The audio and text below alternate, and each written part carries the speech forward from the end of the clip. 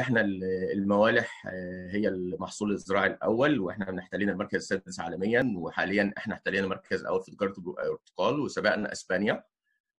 وده يمكن نتيجة التغيرات المناخيه التغيرات المناخيه ونتيجة ظهور بعض الأمراض. وبرده من الحاجات الكويسة السنة دي هنقولها كده في المقدمة إن إحنا قدرنا ندخل السوق الإسباني والسوق البرازيلي. السوق البرازيل هي أكبر منتج للموالح على مستوى العالم. إحنا دخلنا السوق البرازيلي الموسم ده دخلنا السوق الإسباني.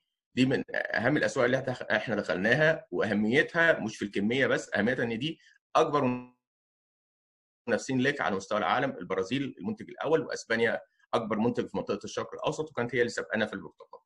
تمام؟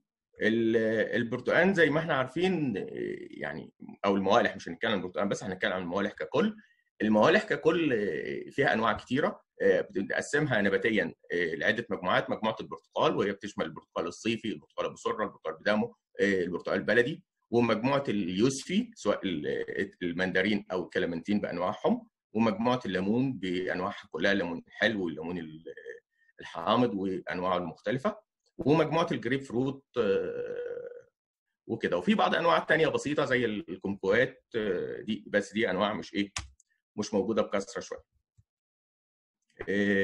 الصورة اللي إحنا شايفينها دي يمكن للأسف هي صورة بتحزنني لما بشوفها وده تأثير واضح للتغيرات المناخية نتيجة التأثير اللي في النهاية هنوصل له إن هو ده تأثير التغيرات المناخية على الأشجار الملوحة بتزيد الشجر بتوصل لايه؟ لهذا لهذا المستوى.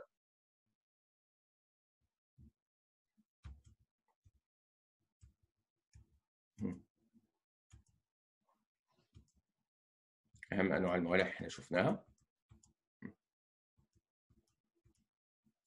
طيب لو دخلنا على عمليات يعني هنقول إدارة مزارع الموالح في ظل التغيرات المناخية إحنا عايزين نبدأ الإدارة من ال season الأول من ال season من أول ال season خالص من حتة التقليم زي ما إحنا شايفين الصورة اللي إحنا شايفينها دي صورة يعني إيه أعتقد معبرة.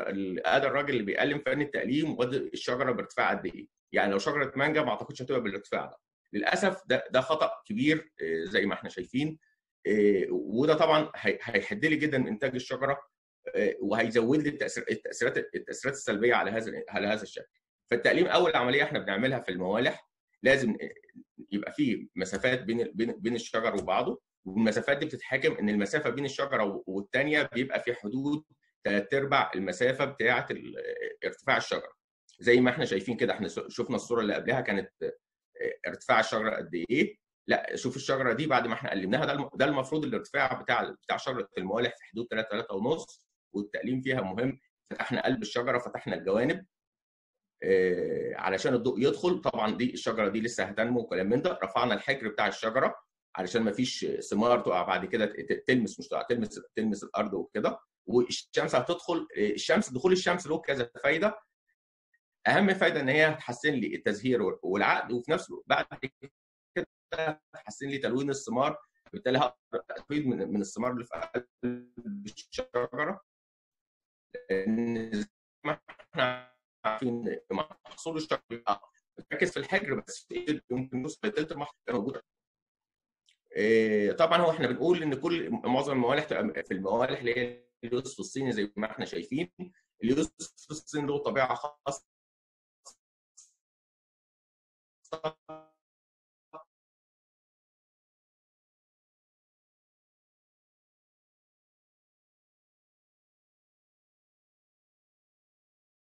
هي طبيعة نموها كده. لو قصيت شط اليوسف الصيني.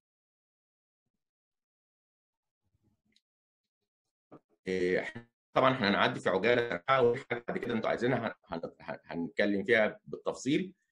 إحنا قلنا التقليم قلمنا الشجرة ونظفناها وبعد ما قلمنا هنرش بالزيت المعدني ولو في حشرات قشرية ممكن نحط مبيد مع الزيت المعدني عشان يبقى رشة كاملة وفي نقطة أنا عايز إن إحنا بنتكلم عن التغيرات المناخية يا ريت ما نأخرش التقليم عن نص واحد ليه؟ لأن في عمليات هنشوفها بعد كده هنعملها في نص واحد لأن في احتياجات برودة للشهر واحد وللأسف في تجار بيستغلوا مع أصحاب المزارع وفي بعض أصحاب المزارع بيبقوا للأسف غير متخصصين والتاجر يقول له مثلا هعمل معاك عقد هياخد هخلص هسلمك المزرعة في نص أربعة هسلمك المزرعة في آخر ثلاثة ده كله على حساب الإيه؟ على حساب الشجر وعلى حساب المحصول الجاي.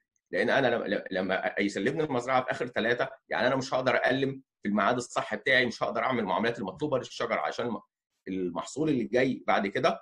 في الميعاد بتاعها هيكون داخل عليا. في شهر ثلاثة هتبقى بدأت براعم الزهرية في مرحله في مرحلة يعني مش التفتح بدأت في الانتفاخ اللي إحنا بنقول عليها البالون بدأت فيها المراحل مرحلة البالون. فبالتالي أنا مش هقدر أدي الخدمة بتاعتي زي ما أنا عايز. فدي نقطة يعني أنا بناشدكم جميعا. سواء اساتذتنا وزمايلنا اللي موجودين أو المهندسين اللي ماسكين استشاريين للمزارع بلاش التاجر يتحكم في المزرعة وفي الإنتاج لأن التاجر ما يهموش إلا مصلحته هو عايز يخزن المحصول لغاية ما يوصل لأعلى سعر.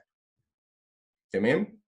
طبعا إحنا عارفين بعد ما خلصنا بعد ما خلصنا تقليم بنرش الشجر وبننظف وبنظبط نظام الري بتاعنا لو إحنا أرض غمر لو أرض تنقيط بنظبط خراطيم الري بتاعتنا بنوزعها زي ما هنشوف في حصه الري بعد كده وندخل على خدمه الخدمة الشتوية اللي هي منها التسميد طبعا في الأراضي الطينية هنحط أو الأرض الغمر يعني هنحط الكبريت والسوبر وهنحطهم ونعزق مع نعزقهم مع العزقة الكبيرة. في الأراضي الرملية اللي بتروى بالتنقيط هنحط الكبريت وممكن نحط وهنحط السوبر وبالتالي بس طبعا كمية السوبر في أراضي التنقيط نص كمية السوبر في أراضي الغمر. يعني أنا في أراضي الغمر إحنا بنحط كيلو ونص سوبر فوسفات للشجرة لا في أراضي التنقيط أنا بحط 3 أرباع كيلو بالشجرة. ليه؟ لأن أنا في أراضي التنقيط أنا هستعمل حمض الفوسفوريك بعد كده هيديني احتياجات معينة لكن بقية الاحتياجات الشجرة طلبها لكن في أراضي الغمر إحنا بنحط مرة واحدة ما بنحطش حاجة ثانية مرة ثانية سوبر فوسفات عشان الجو بيبقى حرر وكده. تمام؟ خلصنا وكلام من ده هندخل على التسميد عشان بس ما نطولش على حضراتكم هنخش على التسميد. التسميد إحنا عندنا في حاجات كتيرة بتتحكم في معدل التسميد بتاعي لأن ده أسئلة بنسألها على طول. يا دكتور أنا عندي مزرعة محمل عليها زرع فيها جرجير وزرع فيها بتنجان وزرع فيها بامية وعايز أسمد. طب أنا أسمد؟ يقول لي مش عارف أسمد عشان عندي محصول تاني متعرض احتياجات التسميديه فإحنا هنتكلم عن تسميد مزرعة الموالح اللي هي مزرعة موالح منتجة. خلاص بالتالي ما عادش يتحمل فيها أي حاجة.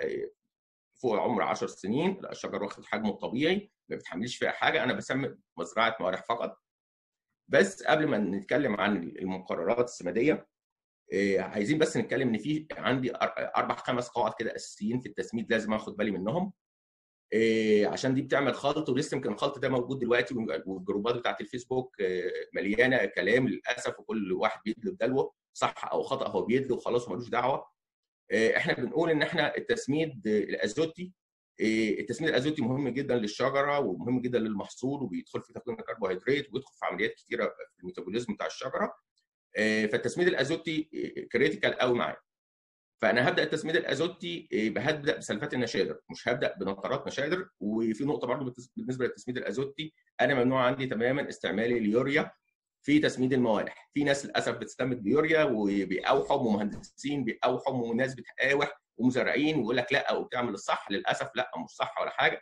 اليوريا فيها بيورايت وبتقتل جذور الموالح على المدى على المدى الطويل. واليوريا ممنوعة بالمناسبة مش في الموالح بس اليوريا ممنوعة في كل أشجار الفاكهة. تمام؟ دي أول نقطة. فبالتالي أنا بسمد من نص فبراير هسمد بسلفات نشادر لحد آخر إبريل وأول مايو. تمام؟ بعد كده هبدأ أسمد بنطرات بنطرات نشادر بس في جزء من لازم نقوله برضو لو إحنا بنسمد بسلفات النشادر أنا عايز ربع الكمية بتاعت التسميد نطرات كالسيوم اللي هي نطرات الجير ليه؟ لأن نطرات الجير لها دور زي ما هنشوف بعد كده في صلابة الثمار وتقوية وتقوية جذر الخلايا حتى تقوية جذر خلايا الأوراق الجديدة علشان ما تبقاش سهل على الحشرات الصلبة المصة إن هي تخترقها بسهولة. تمام؟ إيه بعد كده ثالث نقطة في التسميد الازوتي إن أنا هبدأ أستعمل نطرات نشادر من من نص مايو إيه وبعد كده هرجع هنوقف تسميد الازوتي في في, في يونيو ويوليو ونبدأ من نص أغسطس هندي سلفات نشادر تاني اللي هي تبقى تقريبا في الأرض الغمر ربع الكمية أو في الأرض العادية تبقى ربع الكمية اللي إحنا شايفينها. فدي دي, عمليه مهمة بالنسبة للتسميد الازوتي. إيه ندخل كده على التسميد البوتاسي، التسميد البوتاسي طبعا مهم. آه هنقول إن دلوقتي سلفات البوتاسيوم غالية والطن بيوصل 13000 جنيه وكلام من ده. بس البوتاسيوم عنصر أساسي الثلاث عناصر الأساسية بتوعنا. ما نقدرش نقول عشان البوتاسيوم غالي أنا مش هحط بوتاسيوم. ما ينفعش. عفوا يعني. أنت عايز إنتاج يبقى لازم تاخد تصرف. مش هنصرف ما نعوزش إنتاج لأن الموالح. لو أنا مش الموالح أي أي محصول. لو ما صرفتش عليه مش هيديني الإنتاج بتاعي. فالناس دلوقتي للأسف بتسترخص ويجيبوا يقول لك البوتاسيوم مش هجيبها أو البوتاسيوم للأسف فيه ناس بتعمل بوتاسيوم مضروب في السوق آه وده شككت الناس وقللت الإقبال. لا أنا لازم البوتاسيوم أدي البوتاسيوم بتاعي زي ما هو مطلوب عندي. لو أنا أراضي غمر هدي نص نص تسميد البوتاسي هديه بعد التسميد الأزوتي ودي نقطة لازم يعني ناخد بالنا منها وإحنا بنسمد في الموالح في sequence ماشي في توالي ماشي في العمليات الميتابوليزمية اللي في النبات.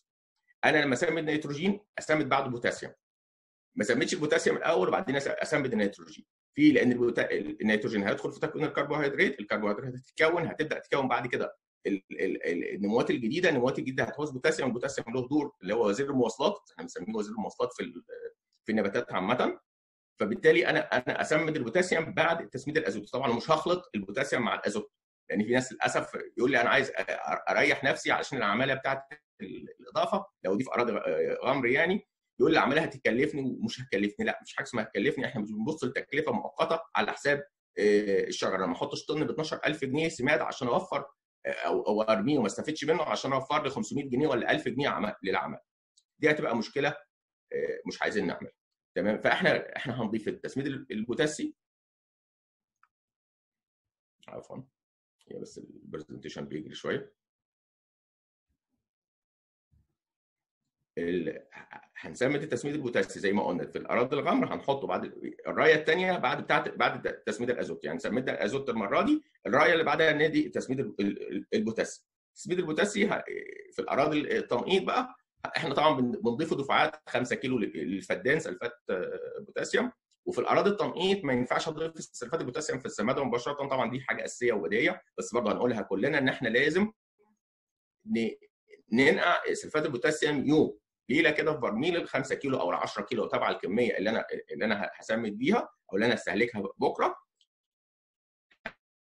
في برميل بكميه مية مناسبة مع الكمية اللي أنا بستعملها وآخد الرايق بتاعها وأحطه في السمادة. لأن يعني طبعا لو حطينا السلفات البوتاسيوم في السمادة مباشرة هسد هسد النقاطات وهتحصل مشاكل عندي في شبكة الري تمام؟ في نقطة إحنا يمكن إحنا بنعملها زي ما أنتم شايفين كده في, في الأراضي الغمر الأراضي الغمر بيقول لي أنا مش هعرف أضيف يعني مش هقدر أجيب بوتاسيوم كتير زي ما زي ما إحنا شكارتين وفي ناس بتدي للفدان شكارة للأسف يعني. طيب نعمل إيه؟ في حاجة إحنا بنعملها حاجة applicable حاجة تطبيقية إن إحنا بنحط بنجيب نترات بوتاسيوم ونترات البوتاسيوم بالمناسبة موجودة في السوق مش نترات البوتاسيوم اللي ممنوعه لأ في نترات بوتاسيوم موجودة في السوق وشركات الأسمدة والبدايات بتبيعها. موجودة ومسموح ببيعها دي بنحطها مع مية الري بنعمل لها حوالي يعني بنعملها لتر للفدان أنا الكلام ده. بعمله في أراضي في أراضي غمر وما عندهمش إمكانية إن هم يجيبوا بوتاسيوم كتير فأنا بنحط أقل حاجة اللي بعمل معدل على على فتحة على فتحة المية وهي داخلة بقسم أقسم المزرعة ونعمل معدل إن أنا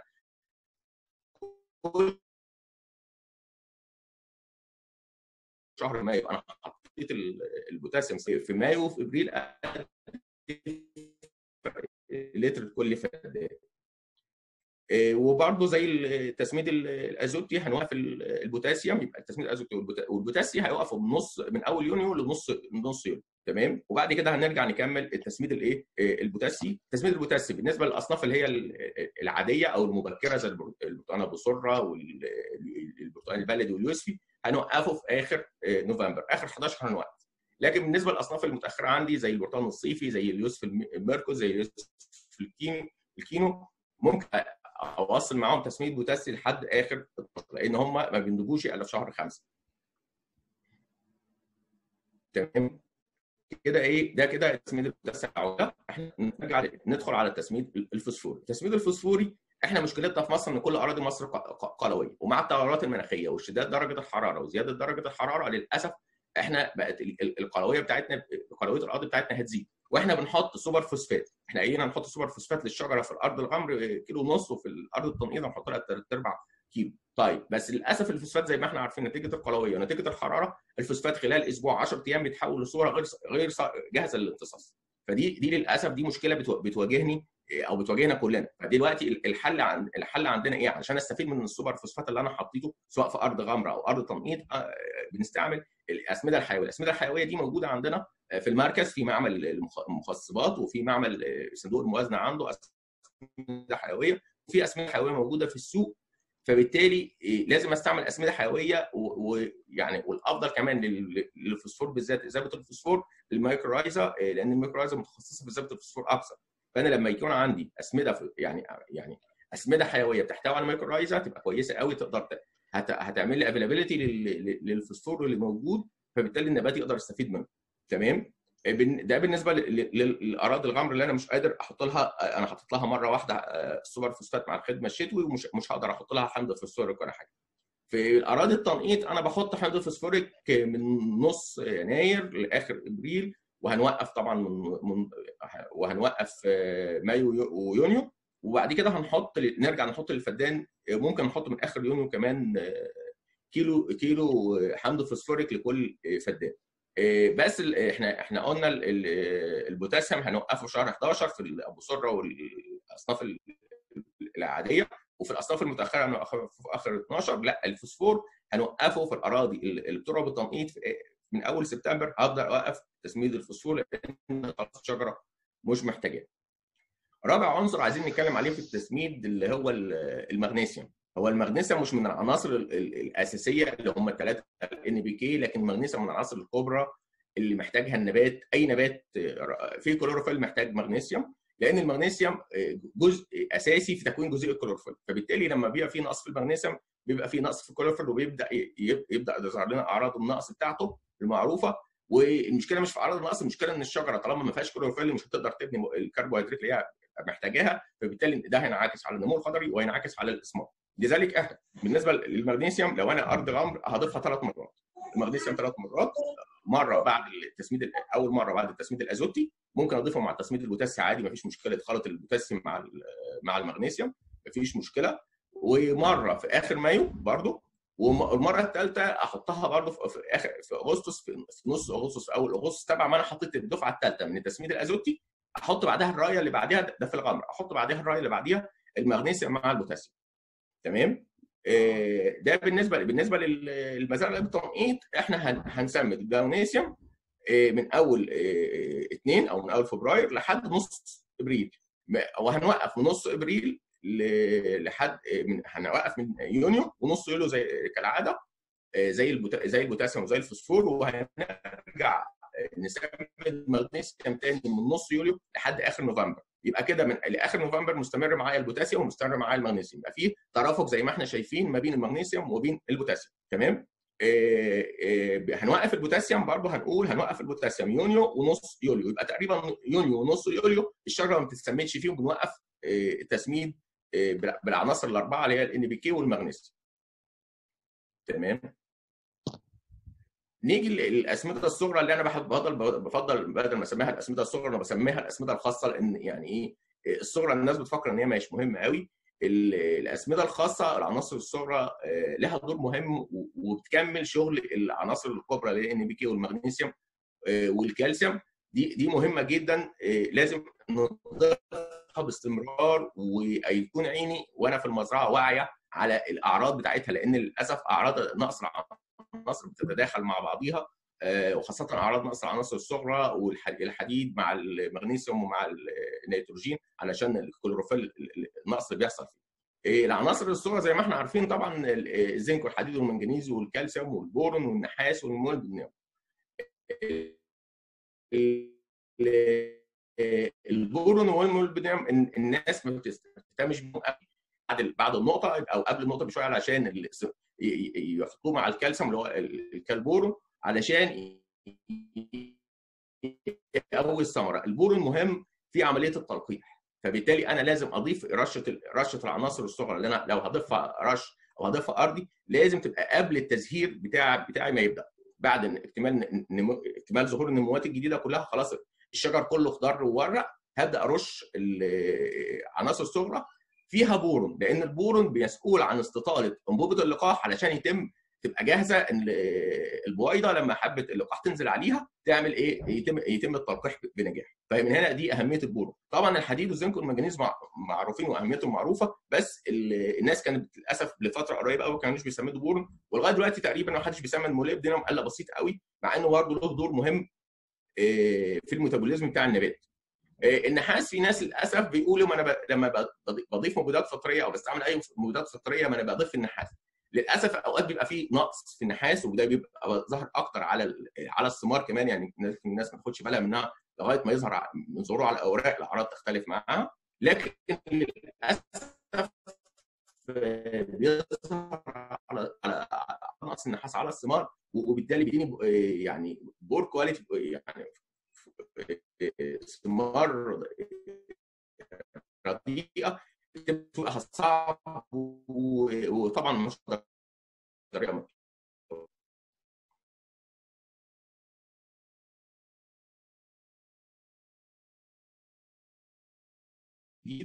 تاني مرة في آخر تالت مرة يعني في النص الأخير ببدا أسمي يعني أنا بحاول أخلي تسميد العناصر بعد ما الشجره تاخد احتياجاتها من الأسمدة الأساسية. تمام؟ سهل جدا. هم 100 سم حمض فوسفوريك هنحطهم على الموتور ال 600 هيظبطوا لي الحموضة البي اتش بتاع محلول محلول الرش. لأن بي اتش محلول الرش لما بيبقى مظبوط بيساعد على امتصاص العناصر اللي أنا هرششها بصورة أفضل. كمان في حاجة بنعملها بتحسن لنا كده هي اليوريا. اليوريا محسنة اليوريا عادية إحنا بنقول اليوريا محسنة موجودة استعملها مش بس. هحطهم في محلول الرش وادوبهم كويس.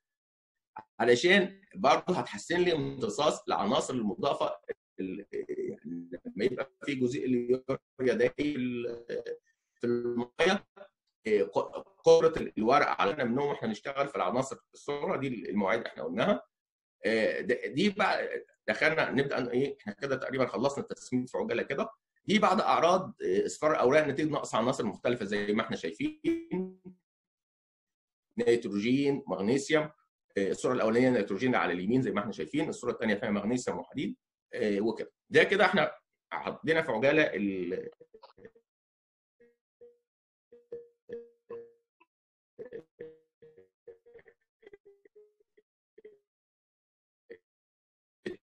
اتكلمنا عن التليم اتكلمنا عن وادي التسميد. وهنتكلم عن الري الثالث عن المزرعة. زي ما إحنا الصورتين للأسف الموجودين صور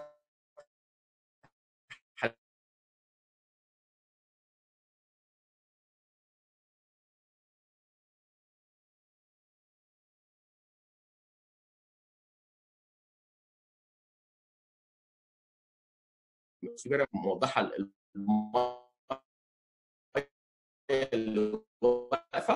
من كتر أقصى حاجة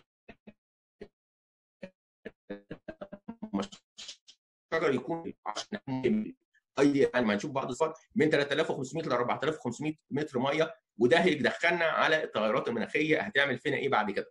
اللي هو عنوان المحاضرة إن إحنا إدارة المزارع الموانع تحت تغيرات مناخية. إحنا دلوقتي عندنا إسراف في المية إحنا بعد كده مش هنلاقي مية لأن التغيرات المناخية منها الجفاف انتشار الجفاف هيأثر علينا جامد. طيب نخلينا في الري الري إحنا عندنا إحنا قلنا الري بتاعنا بيتحكم فيه إيه؟ نوع التربة بتاعتي، عمر الشجرة، حجم الشجرة، درجات الحرارة، معدل معدل هبوب الرياح، ومعدل السطوع الشمسي طالما إحنا بنتكلم عن التغيرات المناخية. كل كل كل مرحلة من المراحل لها لها احتياجات مائية، بس إحنا دلوقتي بنتكلم عن الشجر المثمر اللي هو فوق 10 سنين. عندي كام نقطة لازم برضو اخد بالي منهم في الري. اللي هو عندي فترات فترة التزهير والعقد دي فترة حساسة جدا للاهتزازات المائية مش للري للاهتزازات ال fluctuation اللي بيحصل اللخبطة اللي بتحصل إن أنا اعطش وإن أنا أغرق زي ما إحنا شايفين كده دي كارثة.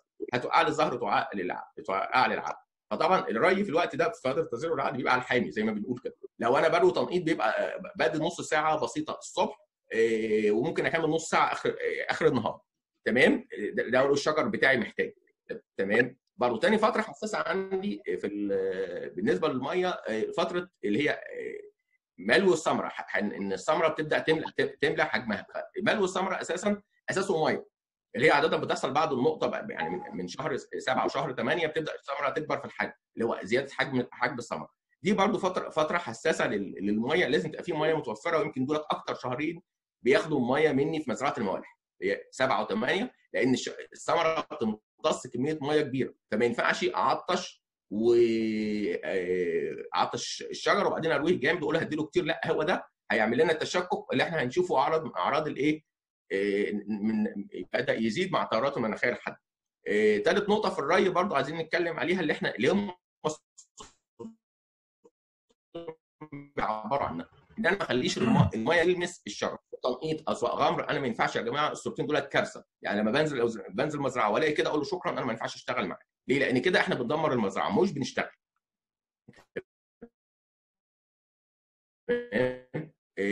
دي أدي أدي شايفين دي مزرعة صغيرة اللي على الشمال ودي مزرعة كبيرة شوية. حاطين الخراطيم الاثنين أنا قلت لهم دي المزرعه على الشمال. لازم الخراطيم الخراطيم جوه الشجرة لازم الخراطيم تبقى تحت آخر ظل الشجرة أو يعني قبل ظل الشجرة ب 20 30 سم لأن هي دي المنطقة اللي فيها الشعيرات الجذريه اللي. اللي بتشتغل عليها الأشجار تمام لكن أنا اخلي أخلي الخراطيم جنب الشجر كده في. في الصورة اللي على اليمين طبعا ما تنفعش أنا كده الشجر بتاعي ما بياخدش احتياجاته المائية مظبوط أنا بروي وبغرق الدنيا وبدي اسمده مش هيد... مش بتوصل للنبات بدرجة كافية يمكن الصورة اللي على الشمال بتاعة الأشجار الصغيرة باين ال... تحت ظل الشجرة باين ال... ال... الأرض رطبة واللون مختلف بتاع الرمل نتيجة إيه؟ إن إن الخراطيم في المكان المناسب المفروض تبقى فيه علشان جذور الشعيرات الجذريه تنمو لأن إحنا زي ما إحنا عارفين كل شعيره جذريه مسؤولة عن ورقه فالشعيره الجذريه اللي هتموت أنا هتموت عندي ورقه الشعيره الجذريه اللي هتطلع كويس هيطلع عندي ورقه جديده فدي حاجة مهمة لازم ناخد بالنا منها. كده خلصنا الري برضو على عجالة هندخل على العمليات بقى الفسيولوجية اللي بتتم في الشجر التزهير أول عملية عندنا التزهير. طبعا إحنا زي ما كلنا عارفين التزهير في الموالح طبعا في شهر أربعة أو في الربيع يعني يبدأ من آخر ثلاثة أول أربعة. لكن هي الحقيقة اللي, هن... اللي هتجرنا بقى ليه إحنا بنتكلم عن تغير المناخ إن تغير المناخ بدأ يأثر لي على التزهير ليه؟ لأن إحنا البراعم الزهرية بيحصل فيها الأنيشيشن أو التحول من من البرعم الخضري لبرعم زهري. نتيجة استيفاء درجات برودة دي بتبقى موجودة في شهر ديسمبر ويناير. تمام؟ فلما بتيجي اللي هي ال warm night أو الليالي الدافئة اللي بتبقى درجة الحرارة فيها عالية أو الأيام الدافئة اللي بتبقى درجة الحرارة عالية. الشهرين دولت دي بتعمل تأثير سلبي لأنها بتلغي لي تراكم احتياجات البرودة في البراعم. فكده ده بيعمل لي اهتزاز في أو ذبذبة في التزهير. بالتالي يعني دي دي مهمة جدا ودي هي حاجة من الحاجات اللي هتأثر علينا بعد كده ولازم ناخد بالنا منها ونبدأ نغير مواعيد العمليات اللي إحنا بنقول عليها دي. نبدأ لذلك أنا قلت في أول محاضرة عايزين نخلص التقليم بدري ونجمع المحصول بتاعنا بدري في في الأصناف العادية علشان ما تأثرليش على العمليات الفسيولوجية اللي هي أهم عمليه منها اللي هي عملية تحول البراعم لبراعم زهرية عشان دي اللي المحصول بتاع السنة الجاية. تمام؟ فدي نقطة مهمة جدا لازم ناخد نبدأ من هنا نتكلم عن التغيرات المناخية. ناخد بالنا لما في ليالي دافئه في ليالي كده يبقى أنا لازم هنعمل عملية معينة هنتكلم عليها بعدين هننظم بيها برضه هنساعد بها الشجرة إن هي تنظم التحول البراعم لبراعم زهرية. تمام؟ إحنا طبعا إن الأزهار بتحمل معظم أزهار الموالح بتعمل على بتحمل على أفرع عمر سنه اللي هي أفرع يعني الفرع الفرع اللي طلع السنة دي خضري هي ده اللي هيشيل الزهرة السنة الجاية. الفرع اللي طلع السنة اللي فاتت هو اللي بيشيل المحصول بتاعي بتاع السنة دي. آه في بعض أزهار بتطلع على خشب وفيها نورات بتبقى مختلطة ونورات زهرية ونورات طرفية. بس هو يعني كدكاتره موالح بنقول إن أحسن محصول بيطلع من من النورات المختلطة أو النورات اللي هي على افرع على أفرع ورقية مش على خشب. ليه؟ لأن النورة اللي بتبقى على أفرع ورقية زي ما إحنا شايفين في كمية ورق جديد بتبني مواد كربوهيدراتية وبتغذي الثمرة بتاعتها. لكن النورات اللي بتطلع على خشب قليل قوي منها اللي بيظهر وإحنا عارفين إن إحنا برضو من كبير اللي بتكلم في التزهير إحنا عندنا في التزهير الموالح بيجي على على على موجات. الموجة الأولى غالبا دي ما ما بيقعدش منها من 20 ل 30% لأن دي للأسف بناخدها فيها مزارعين كتير قوي ولما تسقط يعني يقول الدنيا خربت عنهم. هي الموجة الثانية من التزهير هي دي, دي بيطلع منها 70% من المحصول أساسا وهي دي بتبقى التزهير الأساسي بتاع الشجرة. لذلك أنا ما بخافش لما أنزل مزرعة وألاقي فيه مشكلة يعني في تزهير تساقط كتير من الموجة الأولانية. اللي هو الثلث الاولاني. ده مش ممكن ما يأثرش معايا قوي أنا حافظ على العقد بتاعه لكن العقد الأساسي بتاعي بيبقى من موجة التزهير الثانية تمام؟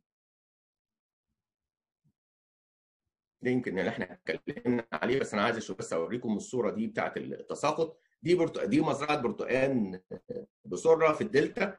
وأدي الأرض ناشفة والأرض نظيفة بس شايفين معلش الصور مش واضحة شوية لأن كانت الدنيا كنا الظهر تقريبا وطبعا الشمس وكده ما كانتش مديه reflection كويس. فلو بدأنا في الصورة اللي تحت هنلاقي كمية التزهير الأزهار اللي واقعة قد إيه نتيجة الحرارة العالية التزهير دي. للأسف خسرتنا كمية كثيره من الزهر وخسرتنا بعد كده زي ما إحنا هنشوف كمية كثيره من ال من ال من العقد. يعني ده عقد ده عقد أهوت. لكن للأسف العقد لو دقينا في الصورة العقد طبعا بسيط نتيجة لأن هو واقع منه كتير. الثلاث صور دولت أنا حبيت أجيبهم لأن هم يعتبروا في ثلاث مناطق مختلفة وثلاث أنواع تربة مختلفة. شايفين كمية التساقط فيهم إزاي؟ أدي تربة رملية وفيها تساقط إزاي دي التربه يعني هنقول طفلة شوية برضو فيها نسبة تساقط. دي برضو أبو سرة في نسبة التساقط بتاعته ونقص عناصر يعني دي مزرعة يعني جميلة بسم الله ما شاء الله. نقص عناصر وعفن سرة وحاجات كده جميلة وحشائش تحت الشجر يعني إيه؟ طبعا ده كله هي... هينعكس على التزهير والعقد هيس... هيس... يعني. إذا هنقول نسبة كبيرة 2 3% اللي بتعقد من الأزهار بتاعت الموالح okay بس العقد اللي بيعقد اتفضل منه كام؟ لازم يتفضل عندي من أقل حاجة 80% من العقد هو ده يديني محصول لو النسبة نزلت نسبة العقد المبدئي نزلت بعد يونيو أقل من 70% أنا للأسف أنا أنا أنا دخلت في مرحلة خطرة بالنسبة للمحصول بتاعي.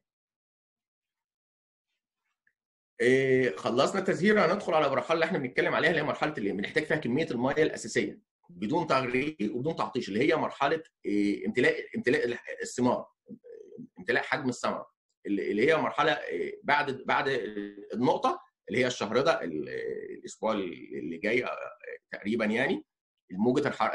الموجة الرياح اللي هتيجي الرياح السخنة اللي هتيجي ومع ارتفاع درجة الحرارة هيقع مننا عقد كتير. إيه لازم ناخد بالنا بقى الأيام دي هن... الري بتاعنا ب... بميزان الذهب.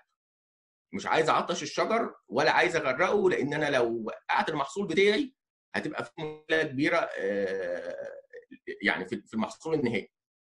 فهي دي دي المشكلة. عدينا من النقطه بندخل هندخل بعد كده إن شاء الله على مرحلة الإيه مالو الحبايه إن الحباية تبدأ تملى وتاخد الحجم بتاعها. تمام؟ المرحلة دي هتعوز أكبر كمية مية منظمة. عفوا مش أكبر كمية مية أسيب زي الراجل اللي كان مشغل المكنة وسابها إيه تغرق ومشي ولا بتاع التنقيط اللي ساب الخراطيم. تملى تملى الشجر وما قفلش المحابس بتاعته تمام؟ أنا عايز أكبر كمية مية منظمة يعني. أنا لو مضطر إن أنا أدي كمية المية كبيرة ومش عارف أعمل إيه أخلي جزء الصبح وجزء بالليل. والأيام دي مع ارتفاع درجات الحرارة أنا بنصح الجميع إن إحنا يا جماعة نوقف ري الساعة 10 الصبح. هيقول لي في نوع في في مزارع بتقول لي ما بلحقش البيره عندي والآبار والمزرعة كبيرة ومش ما عنديش إلا الموالح بس. يا جماعة هي هي نقطة. أنا عندي ممكن أروي من الساعة 5 بعد الظهر لحد الساعة 10 ثاني يوم الصبح. أعتقد كده. إحنا بنتكلم في 17 ساعة كفاية. يعني في عندي كميه كمية يعني عندي وقت أقدر أروي فيه زي ما أنا عايز كمية المحابس بتاعتي. لكن في ناس للأسف بتستسهل وفي مزارع بتاع يعني بتشتغل هي قطاع خاص آه بس للأسف بتشتغل بنظام موظفين الحكومة اللي هو يقول لك أنا الساعة 3 بخلص. مفيش حاجة في الزراعة اسمها الساعة 3 بخلص. أنا عندي وقت مناسب أنا عندي في مرحلة ملو الثمار محتاج ميه كتير محتاج أسمدة كويسة. بالتالي أنا هنظم وقتي لأن الري هيبقى مصاحب للتسميد في المزارع اللي بتروى بالتنقيط تمام؟ يبقى أنا لازم آخد بالي في مرحلة ملو الثمار إن هي دي المرحلة الأساسية اللي بتديني يعني إحنا العقد وحافظنا عليه هيديني المحصول بتاعي نسبته قد إيه. لكن المحصول بتاعي جاب كام طن؟ هي متوقفة على المرحلة بتاعة ملو الثمار. لأن أنا بملا الحبايه تاخد حجمها الطبيعي وي وي وي بدون ما تضرب مني لأن برضو الحبايه لو لو ضربت مني ممكن لو تسميد أزوت عالي هنتكلم عليها في التشقق دي لو مش واخدة كالسيوم كويس لو مش واخدة بوتاسيوم كويس الحبايه هتضرب مني هتشقق تضرب يعني إيه؟ هتشقق مني. فدي مرحلة مهمة جدا مرحلة ملو الثمار دي اللي هي سبعة سبعة وثمانيه وتسعة دي مرحلة مهمة جدا جدا جدا. بحب أنبه عليها. علشان دي هي دي يعني إيه؟ هي عندنا مرحلتين اساسيتين بتأثر عليهم التغيرات المناخية التزهير والعقد وملو الثمار هم دولت اللي هيبان فيهم قوي تأثير التغيرات المناخية بشكل واضح. تزهير والعقد عشان ال fluctuation اللي إحنا قلنا عليه بيحصل لما الأيام الليالي الدافئه أو الأيام الدافئه اللي بتيجي في في شهر 12 وفي شهر واحد هتأثر عليا هتقلل التزهير أو هتعمل لي fluctuation في التزهير. ممكن ما تطلعليش موجه موجه زهر واحدة ده هتبقى نتيجة من نتيجة التغيرات المناخية والحرارة والتذبذبات اللي إحنا بنقول عليها. تمام؟ تاني حاجة الحرارة العاليه مع عدم انتظام الري فترة تحجيم الثمار اللي هي ملو الحباية دي ممكن تعمل لي تشقق للثمار هتعمل لي تبحير تعمل لي هتعمل لي حاجات كتيرة هنشوفها بعد كده يعني أمراض فسيولوجية أو أعراض فسيولوجية مش هنقول أمراض هنقول أعراض فسيولوجية على الثمار. لذلك الفترة بتاعت ملو الثمار آخد بالي من حاجتين اثنين أروي كويس بانتظام قد الكميه اللي الشجرة محتاجاها بس بانتظام ومش في وقت حر وقت الحر كده يبقى أنا بقتل الشجرة. آخد بالي من التسميد الأزوتي وموازنته مع التسميد البوتاسي التسميد الأزوتي هيبقى دي آخر دفعة في التنقيط في في الغم أقللها ولو أقدر أضيفها في شهر سبعة يبقى أحسن. ما استناش في شهر 8 في ناس بتحب دلوقتي للأسف يعني بيحبوا يقول لك أنا أنا هضيف في 8 ليه يقول لك أصل أنا هستنى في 8 عشان حباية تتملى أكتر؟ لأ أنا مش حباية تتملى أكتر. أنا محتاج اللي في شهر سبعة علشان دورة نمو الخريف لو تقطع عندي عندي شوية ورق يلاقوا شوية كربوهيدرات. لكن لما اضيفها في 8 مش هتطلع مش هلحق اطلع كربوهيدرات كويسة للنموات الجديده فما يبقاش عندي نموات عالية. تمام؟ دولت النقطتين اللي إحنا هنتكلم في بنحب نتكلم فيهم بالنسبة لإيه؟ لحجم الثمار. برضو حجم الثمار في نقطة حاجة ثانية عايزين نلفت النظر ليها. التحجيم بقى اللي إحنا بنقول عليه بمصطلح المزارع كده ومصطلح الشغل التحجيم كله يقول لي أنا عايز أحجم البرتقال بتاعه دكتور. حاضر هنحجم البرتقال بتاعنا. البرتقال بتاعنا هنحجمه إزاي؟ كل حاجة لها لها حاجة. يعني أنا بتكلم في البرتقال أبو سرة غير لما بتكلم في السفندي. البلدي غير لما بتكلم في السفند الصيني غير لما بتكلم في الميركوت غير لما بتكلم في في الكينو. كل يا جماعة كل محصول له نظام. وللأسف الناس دلوقتي ماشية على إنها بتاخد كل حاجة لكل حاجة. إحنا لسه في واحد كان عندنا في القسم أول امبارح بيقول أنا عايز منظم نمو لكل حاجة. ويعني مش هقول لكم ده راجل عفوا مش متعلم ده راجل لواء. بيقول أنا عايز يا جماعة قولوا لي على منظم نمو ينفع لكل حاجة. خدتوا بالكم؟ فدي يعني لما أجي بتكلم عن التحجيم لأن للأسف في ناس بتشتغل إن أنا التحجيم عندي حاجة معينة بص اعملها في البرتقالة بالسرعه اعملها في الصيفي واعملها في السفندي واعملها في الليمون واعملها في كل حاجة. التحجيم أراعي الصنف اللي أنا بحجمه. ده مواصفاته إيه؟ مواصفات الثمرة بتاعته إيه, إيه حجمها المثالي إيه؟ إحنا بص أنا جايب صورتين اثنين حاططهم. الصورة اللي على اليمين والصورة اللي على الشمال. الصورة على الشمال دي يعني إحنا بنقول مزرعة مثالية. شايفين حجم لون الورق. مش حجم الورق بس لون الورقه شكله إيه؟ الخضار فيه شكله إيه؟ الكلام ده دي مزارع على الصحراوي وده برتقال صيفي. ودي مزرعة ثانية برضو يعني في النوبارية برضو بس شايفين إيه؟ المستوى بتاعها شكله. ماشي؟ في تحجيم الثمرة حاجة مهمة جدا إحنا بنشتغل عليها كويس وإحنا عندنا ناس شاطرة قوي سواء مهندسين أو دكاترة أو استشاريين. بسم الله ما شاء الله وعندنا مزارعين حتى في مزارعين دلوقتي بقوا يعني إيه؟ خبراء فعلا في التحجيم. بس للأسف ما طبقش كله على بعض. لأن إحنا زي ما إحنا دخلنا كده على الشريحة دي نضج نضج الثمار عندنا مختلف. إحنا عندنا ال Newhall ممكن يبقى في آخر تسعة أو أول 10 جاهز. آه هو لونه بيفضل أصفر لأن هو لونه مش هي... مش هياخد اللون البرتقالي الا إذا درجة الحرارة نزلت ودرجة الحرارة مش هتنزل في آخر سبتمبر وفي أول أكتوبر للدرجه اللي هي تكسر الكلوروفيل بالدرجة الكافية علشان ياخد اللون البرتقالي لذلك ال Newhall في مصر ما بياخدش اللون البرتقالي يعني في ناس كتير بتسأل فيه وناس كتير قلعت نيو زراعات آه علشان كده. يعني بيقول ما بيدينيش اللون والتجار ما بياخدوش تمام؟ فدي دي, دي نقطة. هنبدأ أول حاجة هتبدأ عندنا أبو سرة بعد كده ندخل على البلدي وعلى اليوسف اليوسف البلدي وبعده الصيني والبرتقال البلدي والبرتقال بدمه. في الآخر هيفضل عندنا إيه؟ ال Murcott يبدأ والبرتقال الصيفي والكينو. هم دول آخر ثلاث حاجات هتبدأ موجودة في الإيه؟ هتبدأ تستوي في ناس بتقطع ال Murcott بدري في ناس بتقطع الصيفي بدري. ده شغل ده ده شغل تسويق وشغل مزارع. دي كل واحد حر فيها ما نقدرش نتكلم. لكن هو هم دول آخر حاجتين بيستووا